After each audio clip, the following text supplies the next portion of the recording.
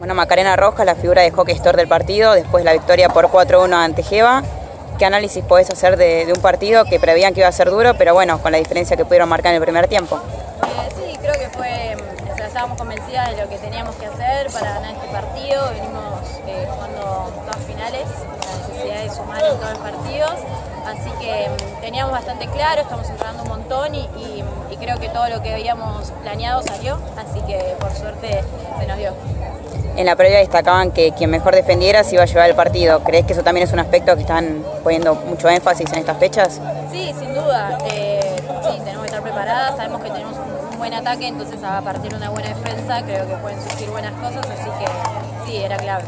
¿y ahora cómo se preparan para los últimos dos partidos que son decisivos para la clasificación?